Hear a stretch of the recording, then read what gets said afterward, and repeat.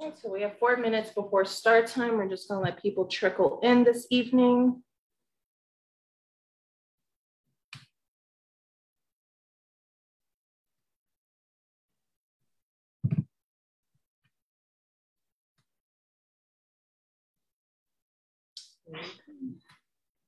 All right, we're live on Facebook.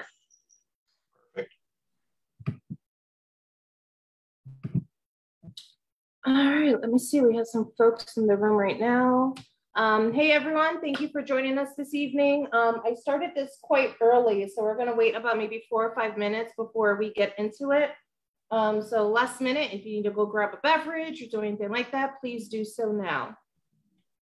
A lot of folks in here.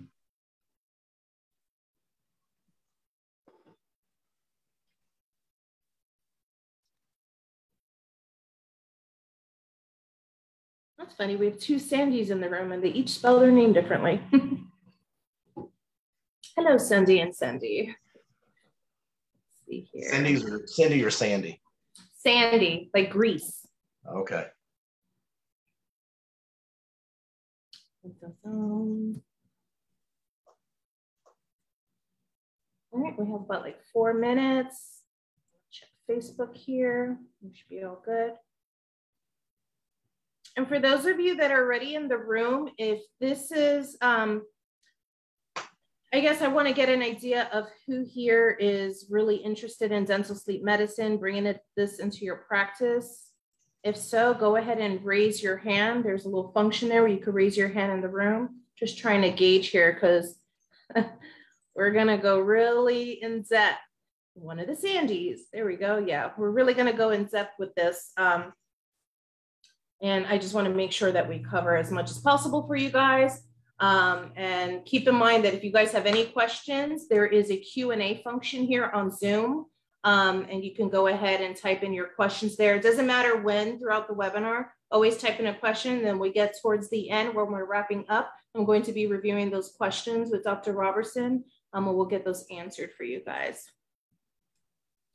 Perfect. We got like three more minutes here.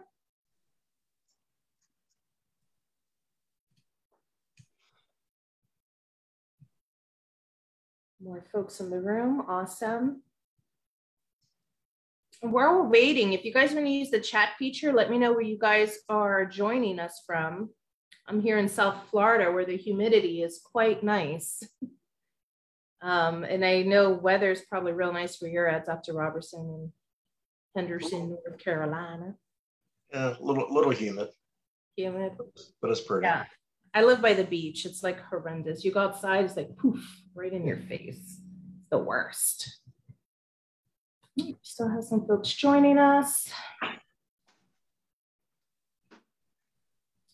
There we go. Oh, let's see, Angela. She made it. She made it. All right. So we're in about one minute and we are broadcasting this live on Facebook. So for those of you joining us on Facebook, welcome. Welcome, welcome. Go. Should be pretty good.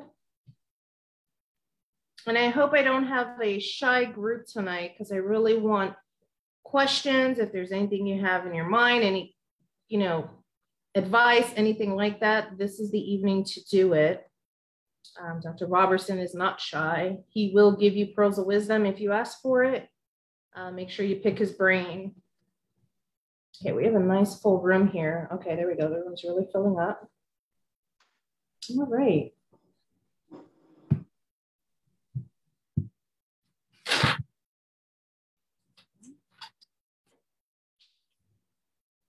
All right, so to get started on time, so I could uh, let you guys have your evening, let me see, we are smack at eight o'clock Eastern Standard Time. So welcome everyone for joining us this evening. My name is Cindy Acevedo. I am the client care manager here at Sleep Group Solutions. Um, when they asked me to do Sleep TV and to get an idea of what I kind of wanted the topic to be, I thought what better than to bring one of our clients that does dental sleep medicine to kind of share what got him started with this, to share the things he sees in his own dental practice, and just basically share his experience. And if there's any questions any of you have, you know, from dental peer to dental peer, please use tonight to type it in in the um, chat box. There is a question feature here in Zoom. Please feel free throughout this tonight's webinar to ask your questions so that I can go ahead and relay those to Dr. Roberson later. Um, and then with that being said, um, out of the clients that I have, I work with multiple clients. I deal with phone calls all the time, asking for advice and things like that in regards to case presentations, screening, and etc. So thinking of who I wanted to join us this evening, I immediately thought of Dr. Deuce Roberson, who is incredibly smart. And the reason why I asked him to be here tonight is because of his passion for this. If there is anybody out there that's super passionate about sleep, it is Dr. Deuce Roberson. Um, so Dr. Roberson, I'm going to go ahead and just introduce you to the room. If you just want to share a little bit about yourself, um, and then we'll go ahead and get started. Sure. I'm Deuce Roberson. Uh, I practice uh, general dentistry in Henderson, North Carolina. I have for the last 23 years. Um, married, I have four sons, um, one left in the house, uh, the other three are out of the house um, and uh, started practicing uh, dental sleep medicine probably in 2015-ish uh, area.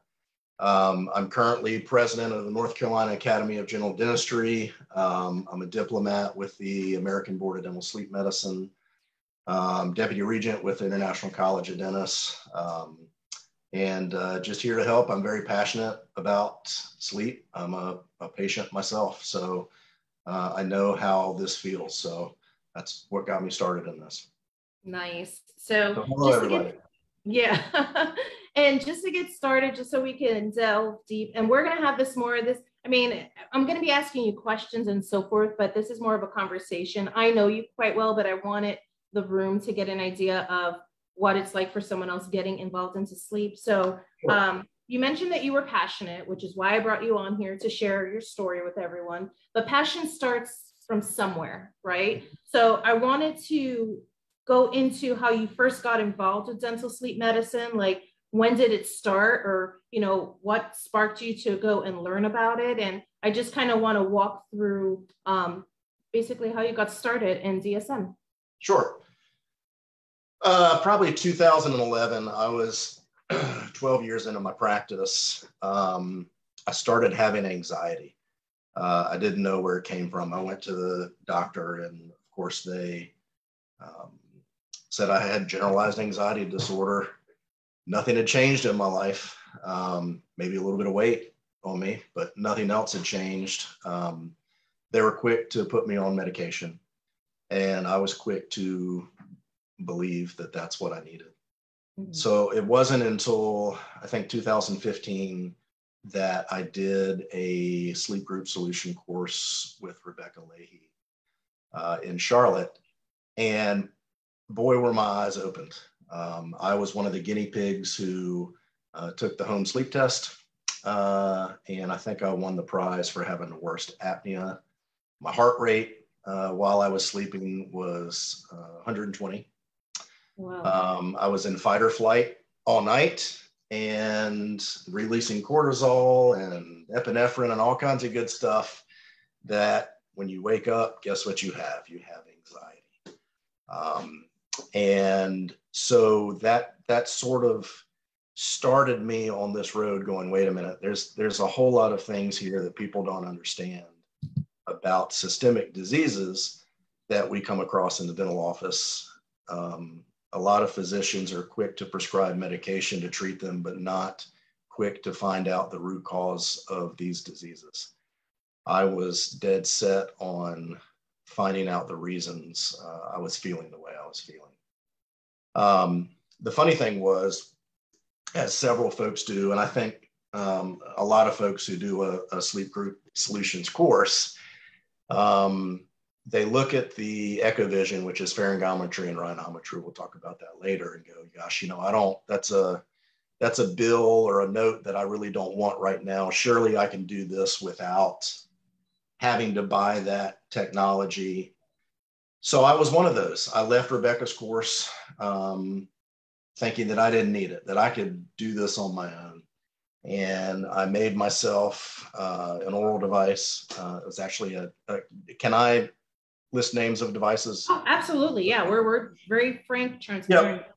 Um, I had a tap uh, tap three uh, elite maybe uh, device that I made myself, which kind of locks me in the anterior region. And I used a George gauge. A lot of folks out there know what a George gauge is. And uh, I wore it for for probably a year. Um, I didn't get any better. I had a lot of transient uh, TMJ pain, um, and I knew something wasn't wasn't right. Um, so I found a dentist friend who actually you guys, John, uh, interviewed on here a couple of weeks ago, uh, Dr. Jennifer Bell, um, who was really really knowledgeable. Um, but I called her up and I said, you know, I'm not, I don't feel right. Um, let me come to the office and get on the pharyngometer and let's see where we are. So she said, make sure you bring your device. I did. Uh, I got on the pharyngometer and found out that I had actually, using the George gauge, pulled my jaw out too far. Um, most folks do it at 60 to 70% max protrusive, um, which where I was uh, with my TAP 3, but it was actually making my apnea worse um, using the pharyngometer, we um, we checked with my device in, measuring the airway space, moving it back, um, using airway metrics after that. And it turned out that my sweet spot for therapeutic position opening my airway was eight millimeters end to end. We made a new device. Um, I did a Panthera DSAD, which is a surgical nylon device, very, very comfortable. Um, waited a few weeks. I think we waited six weeks before I did a post op sleep test to let some mm-hmm. inflammation die down. And my AHI dropped down to a one, and I was sold. Um, that's not even talking about the subjective symptoms that I was not having. I wasn't falling asleep driving anymore. Um, that's read, important. It's important. I, I, could read more than three pages of a book um, without falling asleep. Um, and uh, so I immediately called Rebecca Leahy up and said, okay, let's do this thing. And so I think that was in uh, 2017 when I purchased the, the older equipment, the, the first version of the pharyngometer. Um, and so I've been doing it ever since. And um, yeah, I, I, just, you know, I wouldn't practice without it. Um, but that's kind of how I got started. And then I'm able, when I'm sitting with patients and I'm talking to them, unlike things in dentistry that I haven't had. I don't have an implant. I actually don't have a crown in my mouth. With sleep apnea, I can I can talk to them and I can commiserate with them. I know how they feel, um, and you know I can see it in their eyes. You know, I had a patient today. Um, I think my assistant's on here with us, and she can she can concur with this. But um, you know, these patients are miserable, and they don't understand why you know, this patient thought that everything was because she was old and driven by gastric reflux. Had no idea that the physician was um, quick to prescribe medication for reflux, and that was it. Mm-hmm. And take it as you need it when you have reflux. Well, guess what? She only has reflux when she sleeps. That's interesting. Not when she eats during the day, only when she sleeps. Why is that? So it was neat to open her eyes onto uh, why these things are happening. Um, and I, I just love that with, with my patients. Um, plus, it, it doesn't, I had neck surgery back in 2019. Um, I can practice dental sleep medicine and it doesn't hurt my back, doesn't hurt my neck. Um, and I'm saving people's lives. A lot of people think that uh, it's just snoring, and, and, it's so much more yeah. than that. Um, so that was a long answer to your question, but that's how I got started. And for those of you joining us this evening, um, Dr. Uh, Roberson threw out a lot of terminology, and I just want to touch base on it so everyone understands. Um, he threw out his AHI number that post once he got a corrected bite position with his oral appliance and he got sleep tested, that his AHI went down to um, a one. Um, AHI is the um, apnea hypopnea index. It's the index that basically shows us how severe one's apnea is. So for those of you on here that are not familiar with that, in order, mild sleep apnea, and I hate the terminology mild sleep apnea. You either have it or you don't. But the mild range, um, an AHI has to be between um, 5 and 15, moderate is 15 and 30, and anything above 30 is considered severe. And what that means is you have, in order to be considered an event, your event has to last at least 10 seconds or more. So if someone had, let's say, severe sleep apnea and their number was a 32 AHI, that means 32 times per hour, they have events where they're suffocating and their airway is closing every hour. And each of those events lasts a minimum of 10 seconds or more. I've seen on sleep studies, as I'm sure you have, Dr. Roberson, like some really crazy sleep studies. I think the worst one I've ever seen, someone stopped breathing for, I think, two minutes and 12 seconds. So, I mean, this isn't like something elective just for snoring and so forth. And sure, with treatment and can help from snoring, um, but this is to get patients to breathe safely in their sleep, which is really crazy. He mentioned his heart rate. What did you say, 120 on your initial sleep test? Yep. Folks, your heart rate should not be beating 120 beats per minute while you're sleeping. It's that's that's a lot of stress on the heart. So that's where you see a lot of folks with, you know, heart disease, if your heart is continuously working nonstop, I mean, that's going to cause some wear and tear and some diseases, such as there's been nocturnal heart attacks, strokes, um, daytime fatigue. He mentioned he was happy he wasn't sleepy while driving. I'm happy for the sake of him, but for the public around him, that he's not driving sleepy. It's dangerous right. stuff. So, yeah, absolutely right. This isn't just about snoring, this is about saving lives by treating the core root I mean, they were so quick to tell you that you had what some type of anxiety disorder and just throw out a medicine for that instead of finding out what was causing that. Um, so by treating sleep apnea and treating airway issues, you can actually help eliminate eliminate a lot of health problems that our patients are suffering. So sure. Thank you and, for and that. Yeah, go ahead. Sure. That you know that patient today. I mean, you know, I, we're, we're doing a home sleep test, right? And so I think she's going to be quite surprised at the results of it. I can already tell, you know, once you see this, you can't unsee it. I say that all the time. And so this patient is definitely going to have some problems. Um, but she said, it was an interesting question. She said, you know, how do people know that they have sleep apnea? We, we don't know. Yeah. And so I started going through all the things. Do you fall asleep driving? Um, do you fall asleep in the movie? All the th- things that are on the Epworth sleepiness scale before we even started to do that. Um, I'm going, these are signs and symptoms that aren't okay, that are dangerous, and um, that people need to be aware of. And so we're mm-hmm. trying to educate. You know, when when Jennifer Bell and John were talking uh, a couple of weeks ago, it was it was truly about every patient needs to be screened for sleep apnea. Yeah. Um, the ADA says that, North Carolina Dental Society says that. Um, I say it, every single patient that comes in needs to be screened for sleep apnea because it's such a deadly problem that people just don't, uh, they're not aware of. So.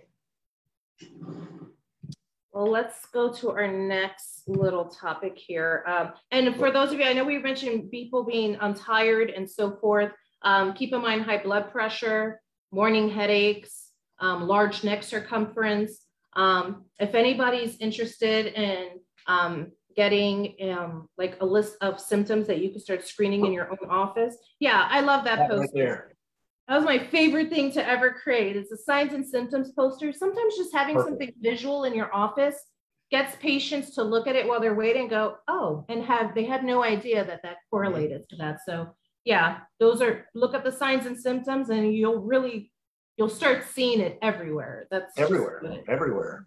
I mean, you, you look at the, uh, you know, I might want to wait till your next question. I don't know. Um, but when you when you look in somebody's mouth and you see a scalloped tongue, why is their why is their tongue scalloped? Oh, it's always been that way.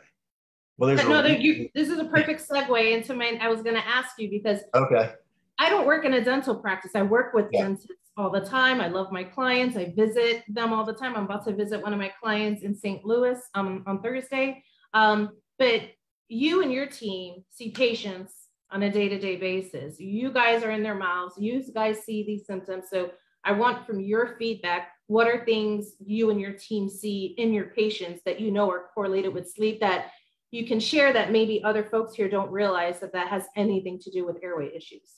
Sure. Well, um, clinically, uh, the first thing that you see is scallop tongue. I mean, that's that's a that's a major um, risk factor for sleep apnea. The reason they have scallop tongue is when they're sleeping, their body is responding, trying to breathe, and one way they that your their your body does that is it stimulates the hypoglossal nerve to move the tongue forward out of the way of the airway.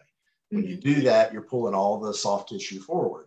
So when you're sleeping and you do that, your tongue then presses against the teeth. So you have this scalloping on the sides of the tongue.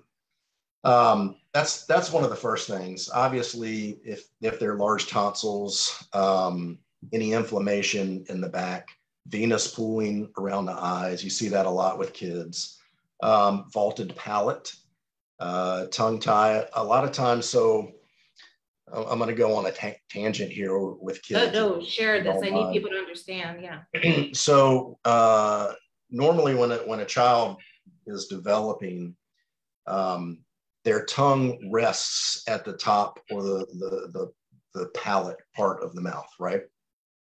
So you don't think that it's such a a strong muscle to, to move bone, but over time it does. And what it does is it is it flattens the palate out, mm-hmm. um, which is also the floor of the sinus.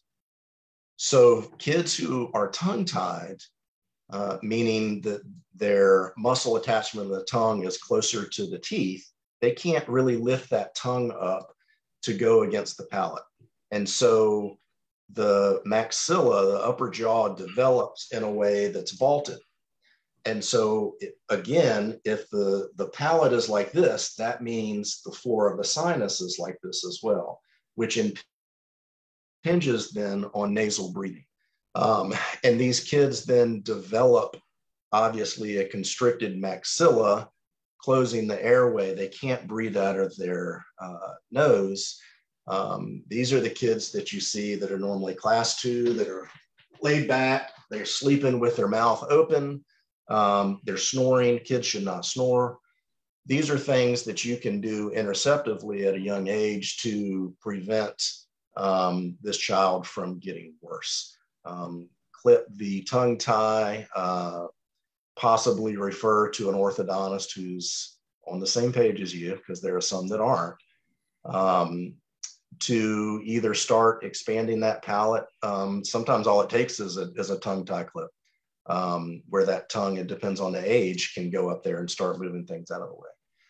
Um, but what you see then are adults in that same situation who have sleep apnea. They don't know it, but they have the vaulted palate, they have a constricted maxilla, they have a tongue tie, and they didn't know why they're snoring at night and are tired all the time. So, you know, those are things that I see clinically. Um, but I also look at the medical history because if the patient has high blood pressure, atrial fibrillation, um, diabetes, um, depression, anxiety, these are red flags that say, okay, there's there might be something going on here. Um, if there's acid erosion that you see um, from reflux, or if you, even if you don't see it, but they're on medication for GERD. Um, again, these are all things that would make you go, hey, how are you sleeping? Um, are you tired? Just to ask those questions. Now, I, I put those on my medical history um, every time the patient comes in anyway. I, I want them to um, you know, to be thinking about that before I even walk in the room. Um, but, uh, you know, it's the information is there in front of you.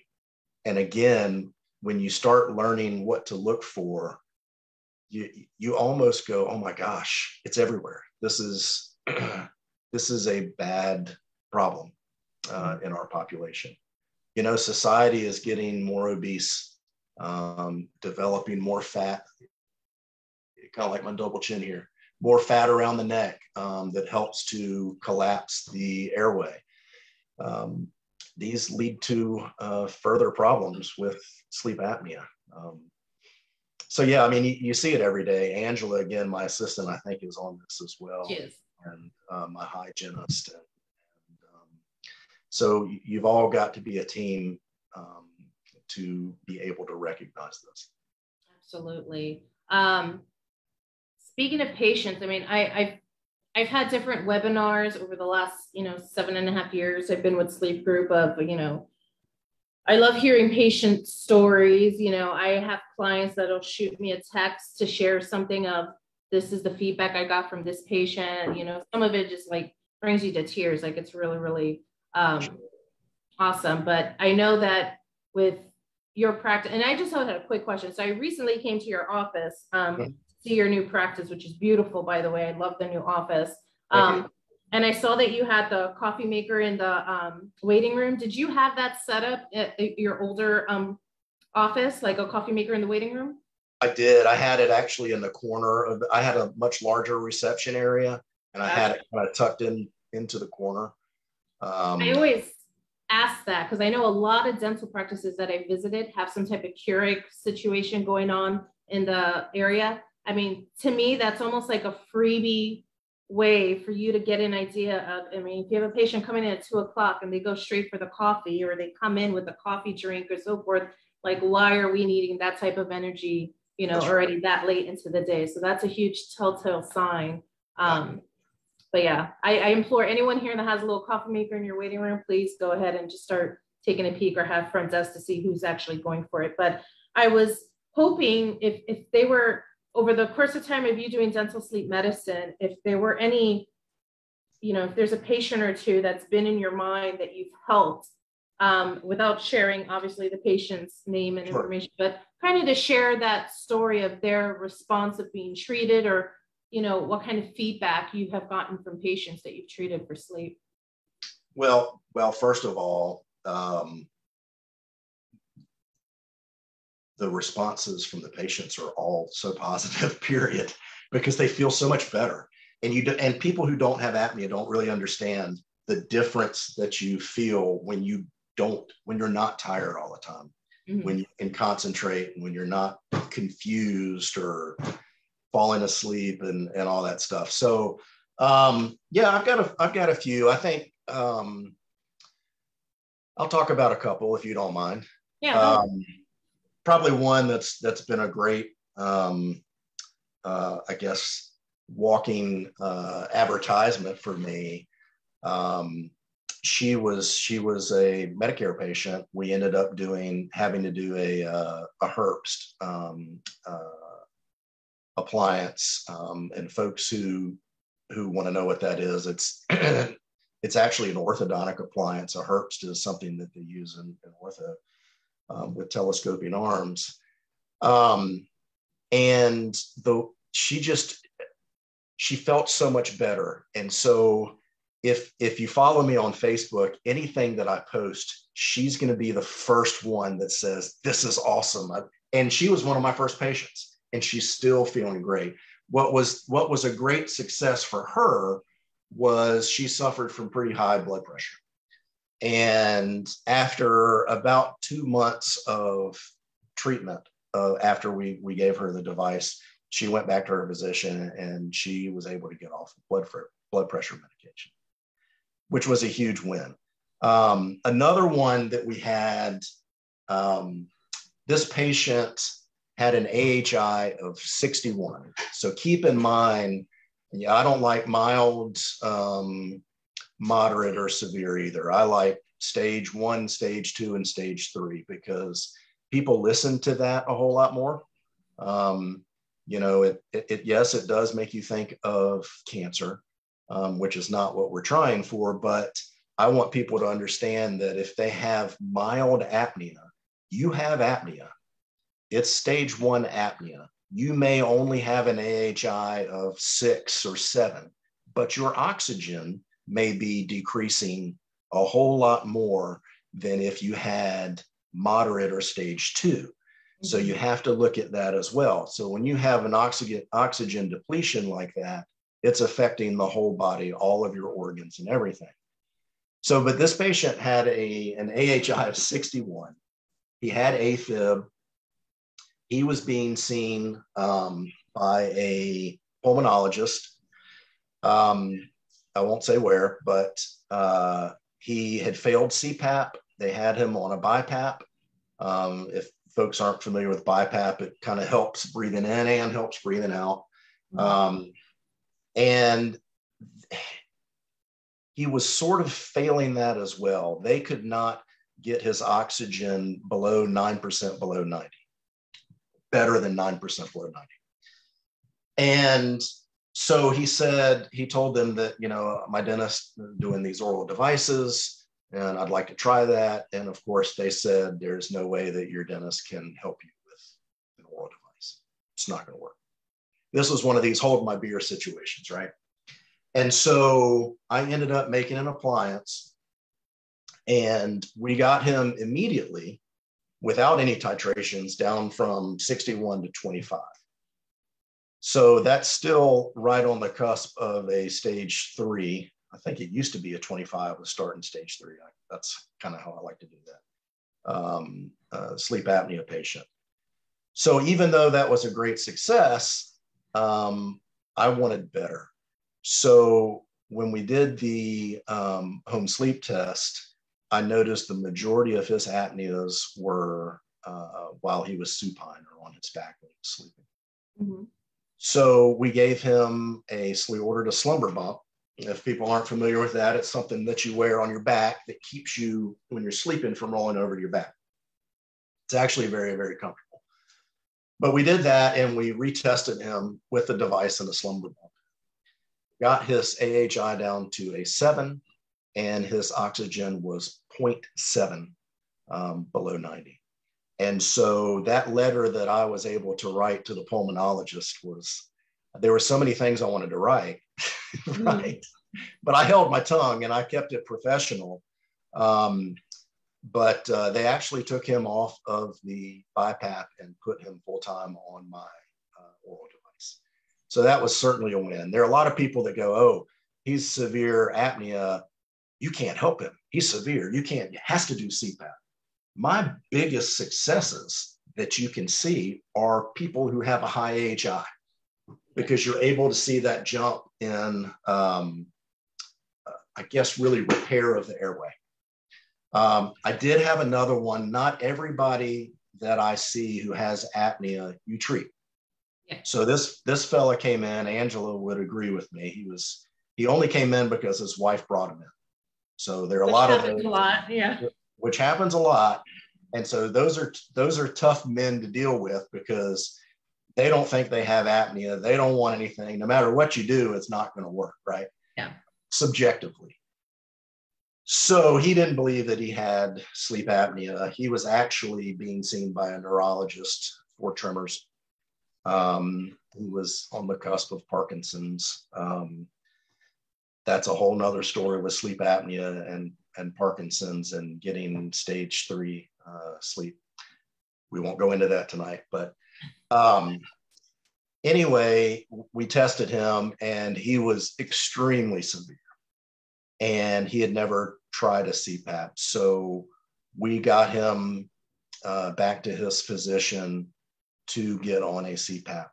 Mm-hmm. And sure enough, his tremors stopped. Angela, I don't even know if you knew that. Um, but uh, so that was a huge success. And it wasn't anything I did other than recognizing the problem and getting him to the appropriate place. So that's a that's a good lesson for folks is that you don't have to treat everybody.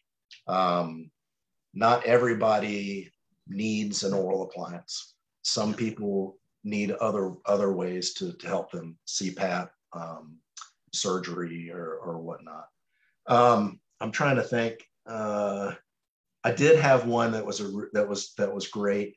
Um, this was a physician that came to me. She she had an existing oral appliance that a, a professor at a university who who teaches um, uh, about sleep apnea um, to other dentists had made her that was not working.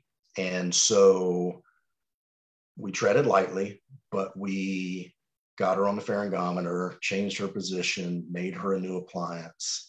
And you talk about one happy lady. Um, you know, treating those physicians is always a nice thing to. Oh yeah.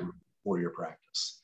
Um, but you know, you have those cases all the time. And I, w- I did have a case that this is a funny case. Um, one of my first ones that I did, I did everything right, right? Kind of like endo, you do everything right, and then something doesn't work with the root canal, and you go, "What did I do wrong?" You didn't do anything wrong. Sometimes it just doesn't work, right? But this patient came in after uh, six weeks mm-hmm. of an oral device, and I did a uh, uh, did a home sleep test, and the results came back, and she was much worse than when we started.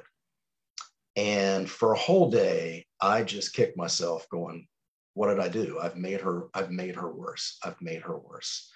And I couldn't wrap my head around all this. This is one of the reasons I actually stopped doing endo it was very, very frustrating for me. I did everything right and the tooth still failed right.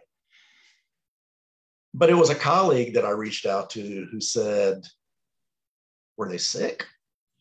And I said, You know, I, I don't know. I just, they came in and I, I didn't ask those questions. I just initialized the home sleep test and gave it to her. And sure enough, that patient had been in the hospital with fluid on her lungs the whole weekend. and I didn't know. Why didn't I know? Because I didn't ask her specific questions when I gave her the home sleep test. Talk about a lesson learned.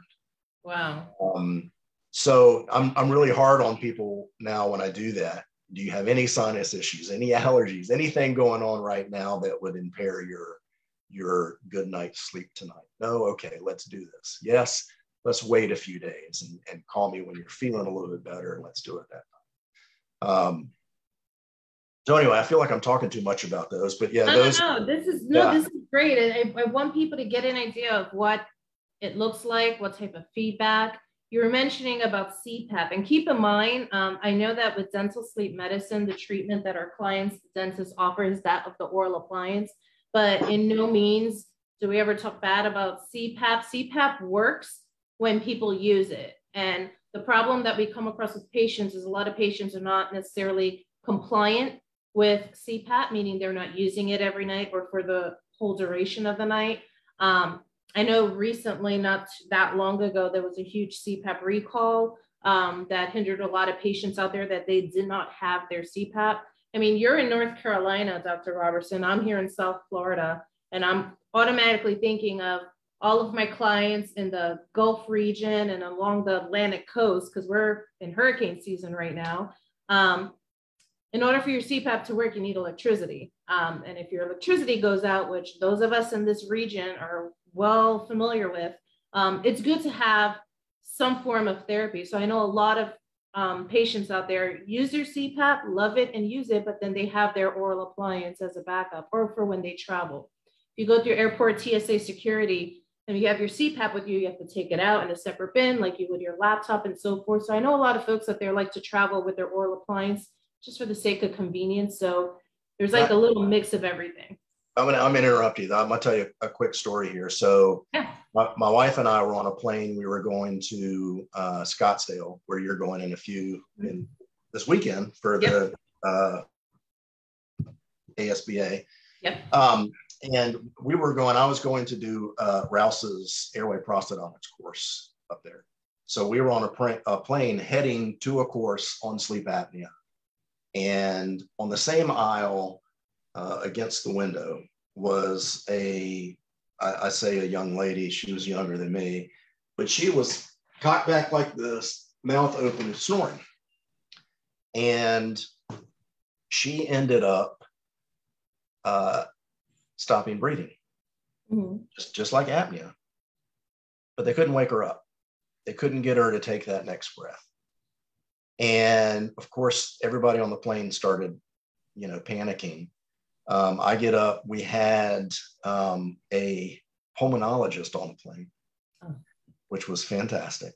Mm-hmm. Um, but it turns out she had sleep apnea, and she did not have an oral device and she wasn't wearing her CPAP on the plane. Oh yeah. And so that's something that people don't think about. You going on a long plane ride, um, you better wear that thing if you're planning on falling asleep. Not only are you going to disrupt all the passengers, but it's but it's dangerous just because it's not nighttime and and you're not like sleeping or going to bed. Um, you know, sudden death can occur anytime with this. Um, it was just ironic that that happened on the way to a you know to a sleep course. Um, just you know shows how important this is. Wow. Didn't mean to interrupt. I just thought that was. No, no, no. That's crazy. I never even thought about that. About one having an appliance for if you fall asleep on the yeah um, plane. And mm-hmm. I mean, not everyone's going to have a pulmonologist or any type of medical help on a plane. So that's. Oh, by the way, the pulmonologist didn't want to listen to me on the plane, so that was another one. I'm like, come on. Um, yeah, yeah. Anyway. Um, I wanted to touch base on. Um, so I know that you're a diplomat with the American Board of Dental Sleep Medicine, mm-hmm. um, but we all started from somewhere. So there's a lot of things that you know now, that you've experienced now, the do's and don'ts, um, learn from mistakes and so forth. That I was hoping that you could share any bit of advice, pearls of wisdom regarding to oral appliance therapy, screening, um, mm-hmm. HST, anything like that, that you wish someone could have shared with you back when you first started? Like anything that you think, hey, this might come up, FYI, pay attention. Anything you want to share with that? Sure. Okay. Well, um, first of all, I think you need to get, you know, if you're going to do this, you need to get uh, good continuing education. You don't need to get it in one place. I started with Sleep Group Solutions, and I think that's a fantastic place to start because they have a, a great protocol to to get this going in your office. Um, people like me um, will speak um, and help other dentists learn the ins and outs of sleep apnea. Now, in saying that, I, I do think you need to get CE other places. Now, I did uh, SPEAR. Um, I started with the AADSM. Um, I felt it important early on to have my diplomat. And so it took me about three years to get my diplomat um, with the, uh, at that point when I was doing it, it was a three part mastery series with the AADSM. The education there was fantastic. Um, that yes, there were things that I didn't agree with. Um, thing, I'm, as you can tell, I'm kind of vocal and I'm kind of passionate about things. And so I argued with a couple of the, uh, the folks teaching and, and you know, in a in a kind way and whatnot. But um, you know, for for learning, you've got to branch out and and do a lot of different seeds. You'll learn things from each different places. Um, in my town, so well, you know, in my state, um, we have been a little bit behind with um, accepting uh, home sleep test as a screening tool it's something that myself and another colleague of mine, Tracy Johnson, worked on diligently for several years to try to open the doors um, for dentists and, and, untie the hands of dentists. And I, I think we finally have accomplished that. Um, early on, that would have helped me a lot because it, in, in my town, I'm in a small town, small rural town. And if you tell a patient that, that we have one sleep physician he's at the hospital and you got to go spend the night at that hot hospital um, and spend i don't even know what the going rate is now for a, um, an uh, overnight psg 2500 to 3000 thousand yep. Couple thousand dollars. That's not going to happen here. They're not going to do it. They're just and these patients fall through uh, the system. They fall through the cracks and they're the ones that you read about in the papers that died peacefully in their sleep and it frustrated me to no end for years, which is why I fought so hard um, to help rewrite the resolution for the state, meet with the state board, because if we had something in our armamentarium that can allow us to jump on these patients and help and fix them and save their life quickly and early, then there's absolutely no reason why we shouldn't be able to so you ask about things if I if I had those things earlier. HST, I wanted earlier. Um, you can tell I'm passionate and, and it, it gets me discouraged that I had to fight on it because, you know, you can do all kinds of things in dentistry that are invasive um, that can harm a patient. A home sleep test doesn't do that. It doesn't harm a patient. It's non-invasive, but it can, it can save a life and it can save a life quickly. Um, the other thing that um, I, I, wish I had done earlier um, was I wish I had gotten pharyngometry earlier.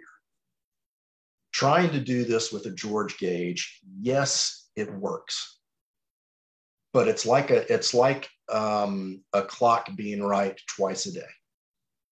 Every now and then, the position you put that patient in with a George gauge is going to be the right position. But more than likely, you're going to have to have multiple appointments to titrate that device to get it to the therapeutic position. Multiple appointments in a dental practice is not economical. You're going to lose money. The patient is going to begin to lose faith in you because they're going, wait a minute, maybe he doesn't know what he's doing because he can't get this thing right. You're going to have most likely symptoms of TMJ until you get this thing right. You're going to have a patient who doesn't feel just right. With a pharyngometer, rarely, rarely do I have to titrate from my therapeutic position. And that saves time, that saves money, and the patient is feeling better quicker. So I wish I had done the pharyngometry earlier.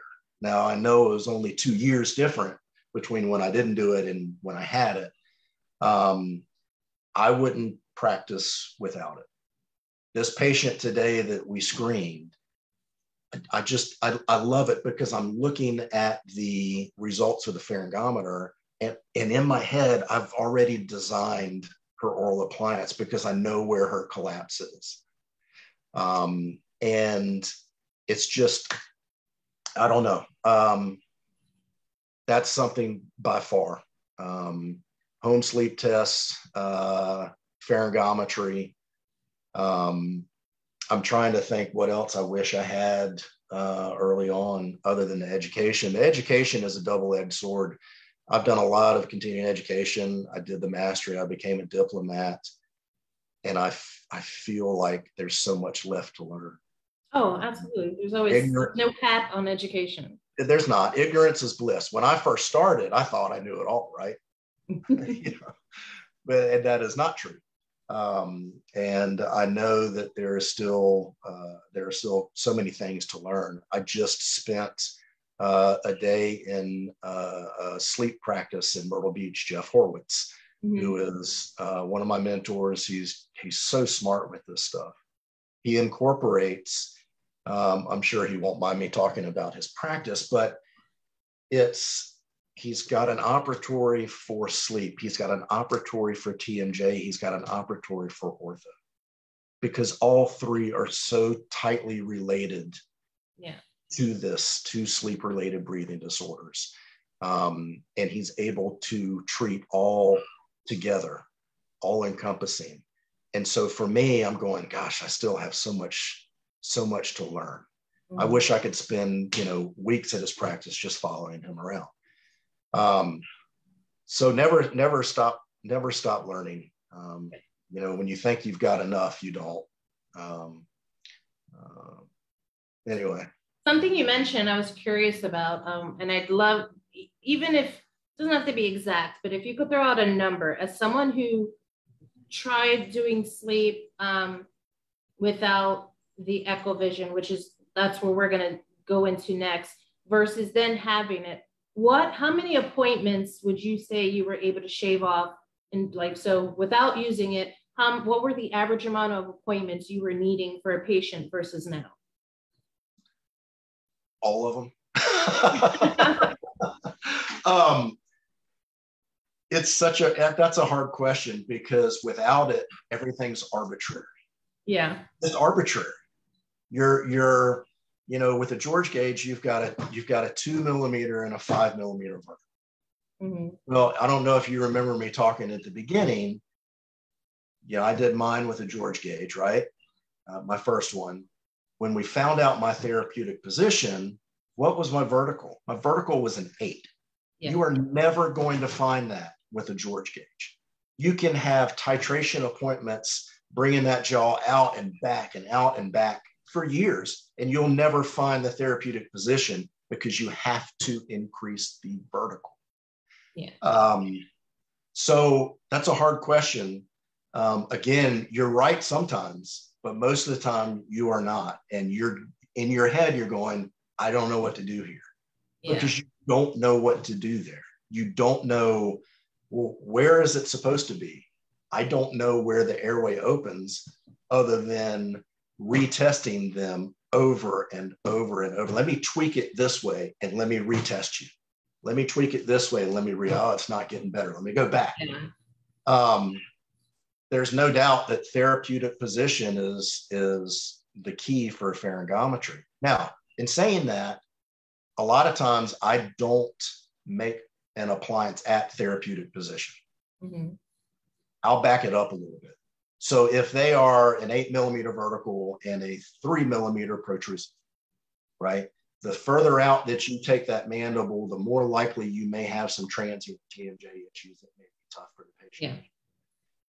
I'll work myself, I'll work the way, I'll work the patient out that way. Okay. So if you start at an eight or end to end or even an eight one, um, then over time you can bring that patient out another millimeter just to see if they get any better. They may be fine at the 8 1. Um, so, yeah.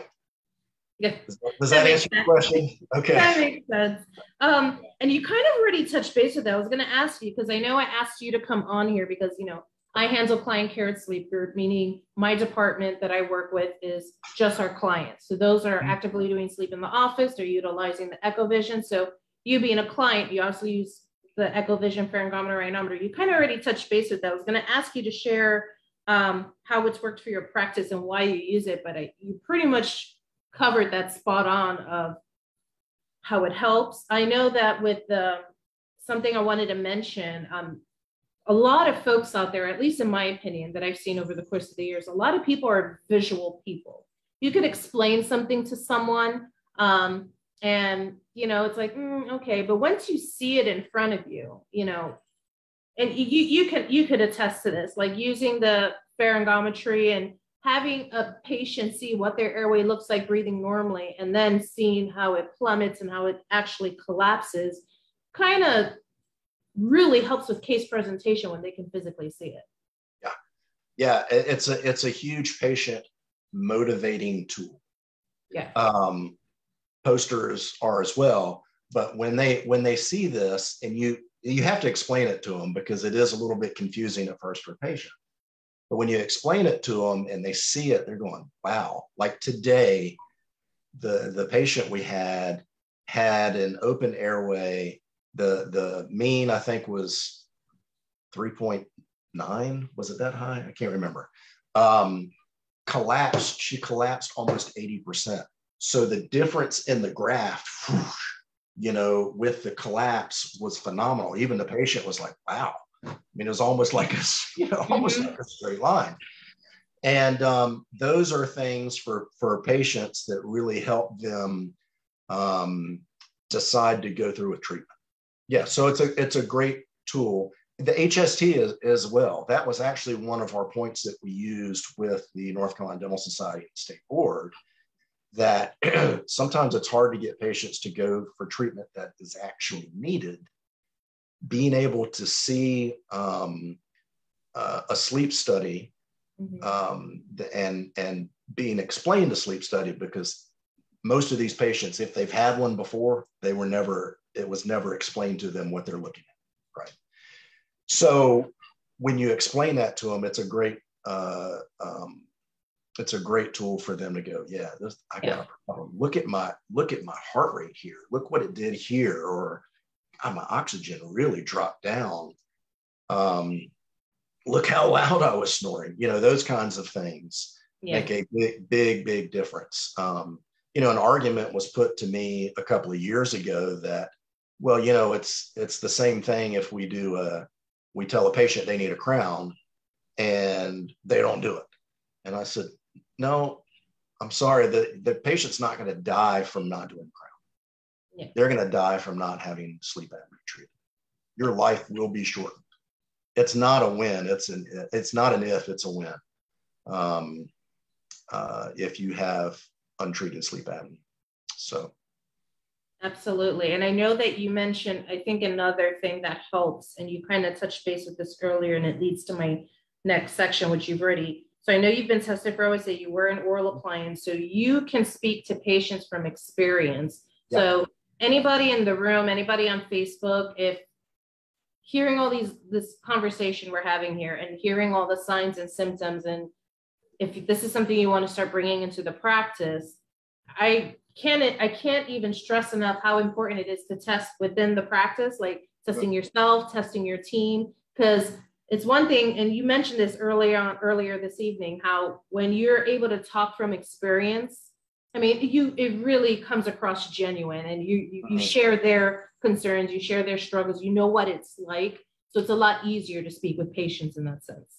It is, and so it's not just the feeling of having sleep apnea it's I know what it's like to wear an appliance. Yeah. I know what you're going to feel. You know, there are mornings that you wake up and go, you know, jaw hurts a little and to realize, you know, this is this may be a transient thing. Mm-hmm. Um, so you can you can ease the patient's mind, saying it's okay.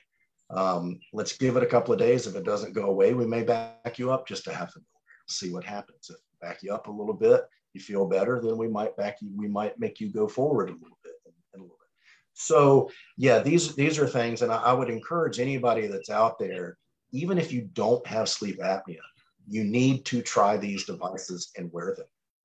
You need to know what it feels like so you can talk to these patients about these devices. Um, I've worn several different devices. Um, I'm sorry.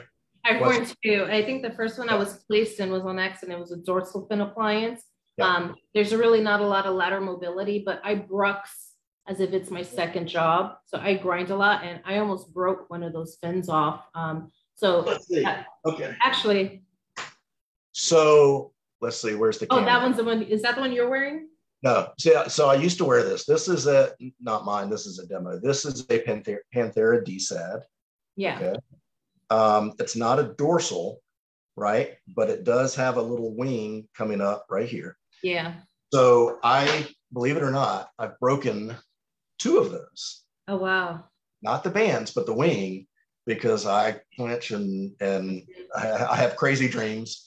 And um, so a dorsal is not good for me. And you wouldn't know that unless you wore these things. So I encourage people to wear them. The, the next one I'm doing is a um, Somnum, Somnomed Avant, um, which gives me great motion, yeah. free motion um, for my like jaw. Yeah. Um, so yeah, that's a that's a big thing. And I, you know, with the mastery uh, stuff that we did, I don't know if they're still doing it, but one of the requirements was to make devices for yourself and wear them and report on them. Um, which obviously I was already in several devices, and, and yeah. so it was easy for me. Um, but these things, being able to talk to the patients, I mean, if you don't know how it feels, how are you going to talk to them?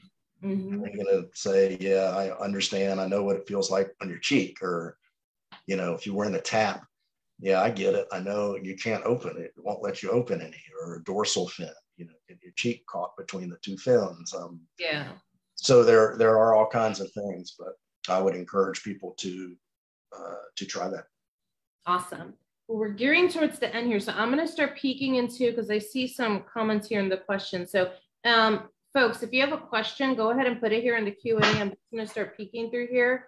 Um, so this isn't necessarily a question. This was a comment from earlier this evening. It said, not my patient, but my husband had a severe heart attack and his cardiologist had said it was because he has sleep apnea.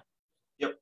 So hope your husband is okay. That That is a lot. A lot of people don't understand the correlation between that. That's why, like Dr. Roberson said, we really do implore you to seek out CEs, education, if you go to um, www.sleepgs.com, you'll be able to see our calendar of courses. We have them published all the way through December of 2023. So if there's one that you see that you like, go in there, take a look at it. Um, there is a contact form that you could ask questions.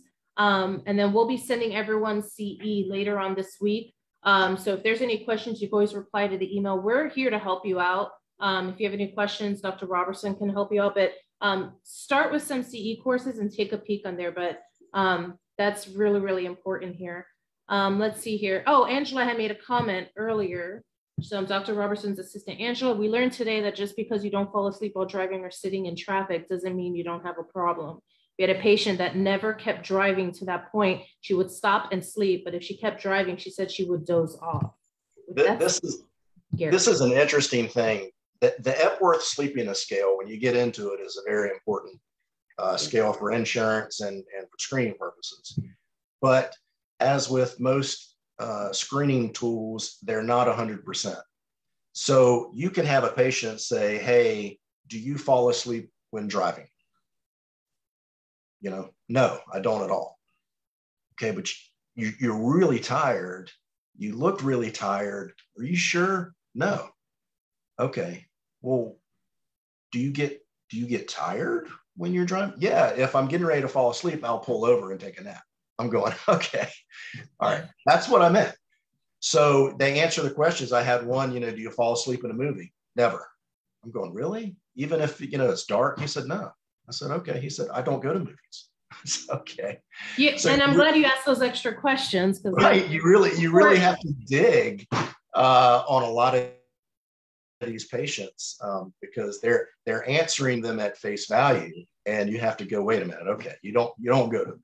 I get that. Um, do you fall asleep when you read a book? No, never. Okay. Even when you start, you know, it's not a. I don't read books. Okay.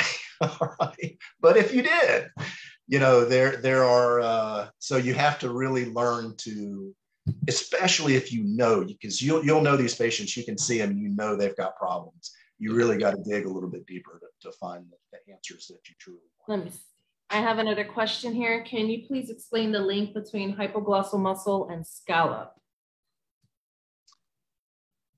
The scallop, the scallop tongue? I would assume so, yeah. Okay. You know, as far as when you when you have apnea and you're asleep, your body responds. I'll, I'll even go into the uh, uh, inspire um, thing as oh, well, because that's a that's a kind of good anyway, so when you fall asleep and you're going to sleep, you have apnea, your body does all kinds of things to try to make you breathe and open the airway. Your diaphragm will start flexing, you'll, you'll grit your teeth. One thing that happens is you have a stimulus where your tongue will then try to push forward to move out of the airway. When that happens, it pushes against the lingual surface of the usually the lower teeth um, and that forms indentations, which are called scalloping. And when you're looking for those in the mouth, don't have the patient stick their tongue out because when they stick their tongue out, it elongates the tongue and you can't can't see it. Just a regular, and you'll see the scallops. Okay. That is, in, in my opinion, one of the number one indications. Inspire, you've seen the commercials on, on Inspire. It's like a pacemaker, it's an implanted um, device that stimulates the hypoglossal nerve to activate when you're in an apneic situation to move that tongue forward um, while you're sleeping. I hope that answers the question. Yeah. That should help. It says, um, do you require CBCT on your sleep patients? No, not at all. CBCT, it, it's a great thing, but it's a static image. Um, that's where I think pharyngometry trumps CBCT um, because I can see what's going on in the airway real time. Um, CBCT uh, is a, I, I guess, a static image is probably the best. Uh, would you agree yeah. to what I'm saying here? Yeah. Um, now there is uh, somebody out there that is is trying to connect the two, um, pharyngometry and CBCT at the same time um, which would be a fantastic tool to have in a practice. Um, but no, that, that is no. Now, um, like Jeff Horwitz, yeah, he uses it really to diagnose what's going on with the um, TMJ joint. um, during this. Okay. Um, I have a question here. What's your favorite home sleep test? Uh, is it a one-time use? And, and a question, if you're open to share, is what do you charge patients for it? Okay. Um, what's my favorite sleep test? There's there's there's a whole bunch out there. There's a ring. What's that? I said there's a ton out there. Ton of them. Um, there's ARES. Um, there's the ring. There's the WatchPat. Um, I kind of like the watch pat. It's a peripheral arterial tonometry. Um, it gets you all the information you need. You wear it on your wrist. Um, you've got a pulse ox. Basically, it's a high resolution pulse ox to fit on your finger. Um, and it's got one lead that you'll fit under your shirt that puts right here for your heart. Um, it's non-invasive and you can sleep very, very nicely. The ARES is a unit that fits on your head. It's got a cannula that comes down and leads on your head. Um, now, all these, uh, the ring just actually fits on your finger. I'm not crazy about that one because you don't get all the information that you need, specifically, in my opinion, uh, sleep position. That's so important, just like that patient I was telling you about earlier. Um, so the WatchPat is really my my go-to. Oh, and and as far as fee, when I do an initial screening, I do not file it under medical insurance um, because they are not diagnosed with sleep apnea. Um, I will usually anywhere from 200 to 250 um, cash um, for that. I, I, don't know whether I can say that or not. If I can't, yeah, I mean, keep in mind. So with all of my, but um, you know, that's a, a, that doesn't hurt the patient um, financially to do that, and you can start saving lives. Especially in comparison, we were talking about the PSG studies. That could be a lot, but I know that uh, nationwide, I have clients everywhere. Um, the average fee of what people have been doing is anywhere between 250 and 350. It really depends on your demographic. You know your patients to go from there.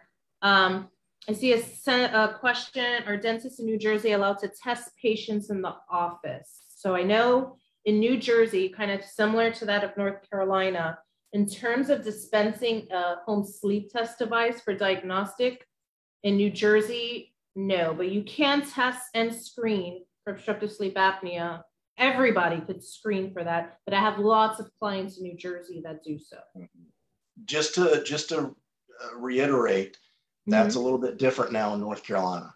That that the uh, North Carolina Dental Society, um, we we we just actually uh, did a friendly amendment at the House of Delegates this May um, to mirror what the ADA passed um, this past November, which states that if you have a patient with high risk for sleep apnea or sleep related breathing disorders, a dentist may dispense or prescribe a sleep test. Um, so, yeah, I mean, it's to me, that's a huge win um, for the state of North Carolina. We still need to get the state board um, on board with that, which I think will will will happen. But um, New Jersey, I know New Jersey. What, what was the other state? Georgia? Was it Georgia, Georgia? New Jersey, yeah. And uh, so you know, in the whole United States, you know, you don't want to be the last last man standing in something mm-hmm. like this, preventing people from. Uh, um, I see a comment here from, and I love this person. She's like one of the biggest personalities I've ever met. I loved her energy. If I could bottle her energy and sell it, it would sell out. Uh, Lisa Gushin, which is a good friend of hers, she said, "You guys are the bomb." Along with other little comments she was putting here that was cracking me up throughout the um, session. I, I have no doubt. Yeah, um, yeah, and I see another fun one from someone named Nicola Ken. What type of bourbon heals sleep apnea? these are like cracking me up. I know these are friends of yours. I was like, because they obviously know you, but that'd be Woodford double oaked. This is the best. And I think that's all we have here. Um, it's literally like four minutes past our time here, but uh, Dr. Robinson, you know, I love you. Thank you so much for sharing sure. this. I think it really helps a lot coming from someone who's been doing this, someone who started this, learned about it, decided to try it on their own. Like you kind of covered what it's like for all the different folks out there that are doing sleep. So I really do appreciate your time this evening. Sure. And, anybody can reach out to me. Um, you can reach out to Cindy and get my email. I'll tell you right now, it's tarheeldentistry at yahoo.com. If you have any questions, anything, reach out to me and I'll be happy to, to answer and, and help you out. So yeah. Um, and Ruth, I see your question here about um, information on the Eccovision and the cost. Um, if you'd like, I can have one of our folks reach out to you. I have your email information from your registration, so I'll make sure that we send that out to you. But yeah, I'd love to get this out in as many folks' office as possible, get you guys as clients. Sandy, thank you so much. You said thank you both, very informative. Um, sure. That makes me happy. I mean, if the least that can happen is you guys to start screening and actually seeing things differently, it'll go a long way. Ruth mentioned great presentation. So um, thank you, Ruth. Um, so yeah, thank you guys for joining us tonight. Um, Dr. Roberson, again, thank you so much. Please give my love to Allison for um, having you come out here and do this. I know this is pretty late and stuff like that, but guys, thank you so much. We'll send out CEs. Visit sleepgs.com. Take a look at our courses. We would love to have you there. Um, yes, there will be a recording. Um, like I said, I am traveling literally tomorrow to go see a client and I'm going to a dental conference. As soon as I get back, I'll go ahead and generate a recording for a link, but this has been um, advertised on Facebook. So you could always go to Sleep Group Solutions in our page and it's going to be there um, for you to uh, view as many times as you need or you want to share it with someone. So thank you so much. Um, I think we are good right now. So um, yep, I've answered all the questions here. This is good. You guys were very, um, I love all the questions here. This is really good. Not everybody was mute and quiet, which is good. So Dr. Roberson, you were doing something good. So that's awesome. And, and Angela, thank you for being in the room. Love seeing you in here. I appreciate that. Um, yeah, so we're all good. Thank you guys. Have a good night. And thank you again, Dr. Roberson. You're welcome. Thank you. Good night. Bye-bye.